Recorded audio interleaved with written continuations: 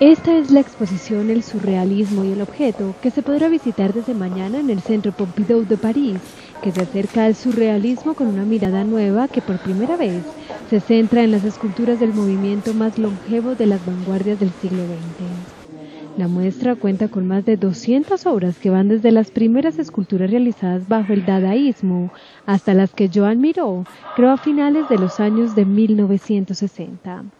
La hipótesis de que las esculturas surrealistas nacieron como una forma de cosificar los sueños es una de las novedades de esta exposición.